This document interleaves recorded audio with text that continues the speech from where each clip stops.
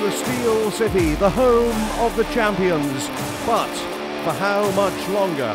Hamilton, Ontario is our destination, where Forge FC are getting set to face Atletico Ottawa on the final weekend of the Canadian Premier League regular season. Uh, just one change to the team that lost at Halifax last time out. Into the back line comes Garven Metusala. Abu Sissoko is suspended. A 3-4-3 formation. Plenty of goals. Pacius, Campbell and Badibanga.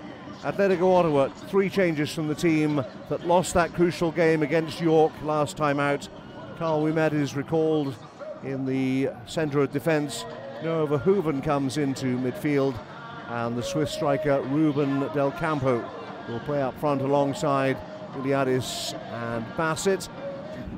Here's Acosta again away from Bekker, left footed. This is interesting. That's a fine save in the end. And it was Ruben Del Campo. Wrapped his left foot around it, fingertips from Tristan Henry. It was going into the corner. Rezart Rama is poised to take the free kick. Pacius and Campbell perhaps are the targets. Rama again. Badibanga out wide trying to curl it in. It's going to fall for Bekker. Straight at Ingham. Seeing again the aerial route for Ouimet. Hooven and James. Ingham needs to keep his eye on this. Decided to punch probably wisely. Woobens Pacius and Draker James. And another foot save from Ingham. And Mandraker James is playing centre forward. And then there's a push, and it's going to be Carl Ouimet on the floor. It's going to be a free kick for Atletico Ottawa and a yellow card for Mandraker James. Yellow, interesting. Those two uh, have been at war uh, many a time before, but that was a fantastic, just bit of energy and effort. Look at this. Hooven helping out Zapater around the corner for Bassett. Acosta did well. Hooven's got a little bit of room to measure the cross, perhaps. Into the area it goes, and the head up. Iliadis straight into the waiting arms of Tristan Henry. Costa trying to get to the edge of the penalty area. It took a deflection. It's going to fall for Ollie Bassett. And back for Max Tissot, just wide. And Del Campo didn't take a chance to slide in and put it into an empty net. Just thinking about how good both of the teams' shapes in their final third have been, and uh, then a little turnover. It's not used. Again, Del Campo trying to get it under control. Del Campo, Ruben Del Campo has scored. No, he hasn't.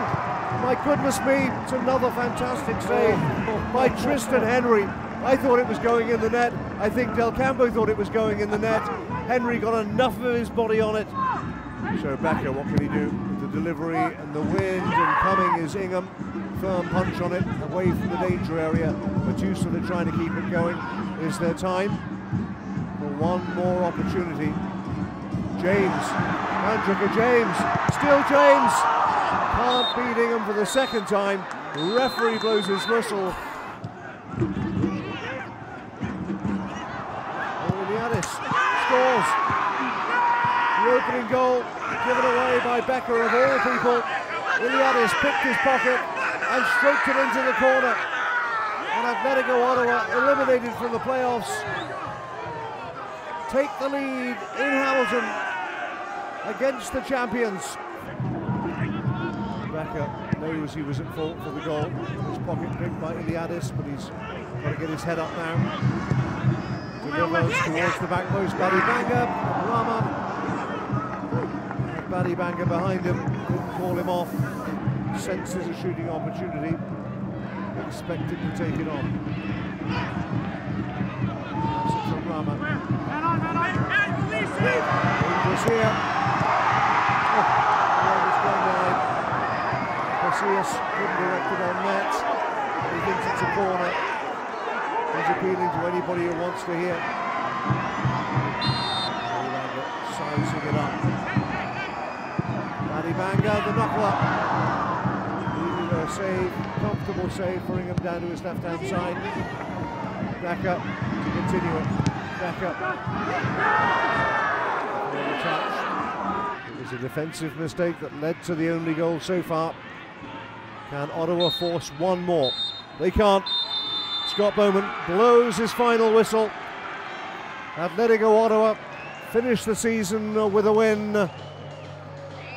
Forge FC will go to Cavalry in the 1 2 playoff.